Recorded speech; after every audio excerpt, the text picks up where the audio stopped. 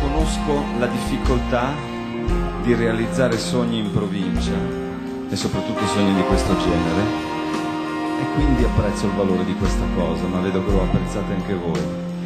Eh, penso che i ragazzi che hanno organizzato questa manifestazione, e con l'appoggio istituzionale e anche privato di altri, abbiano raccolto l'eredità di molti movimenti positivi e propositivi che ci sono stati a Vercelli e che continuano tuttora, facendo magari semplicemente ascoltare musica, insegnandola o offrendo un posto dove farla.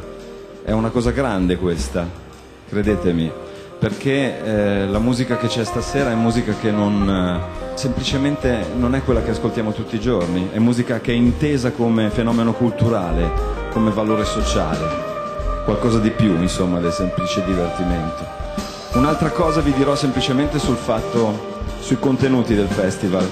Eh, eclettico, no? quindi eh, si dovrebbero tirare in ballo molte definizioni, parole amate dai DJ eh, per descriverla tutta, l'hip hop, il jazz, eccetera, eccetera. Forse il sistema migliore per parlarne è ricordarsi di una cosa che ha detto Montale in una poesia, ciò che non siamo, ciò che non vogliamo. Ecco, questa sera la musica sappiamo che non sarà commerciale, eh, sappiamo che eh, non sono quelle cose che sentite normalmente in radio, non quelle cose che normalmente si vedono e si ascoltano in televisione, sicuramente non la banalità imperante che ormai ci sta ammorbando.